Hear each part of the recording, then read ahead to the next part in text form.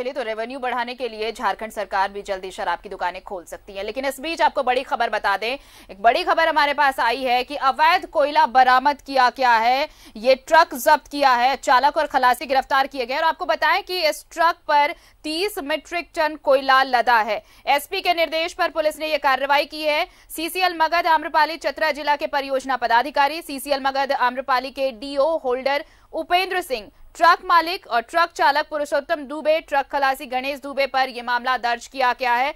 ये पूरा मामला गोला थाना क्षेत्र का है।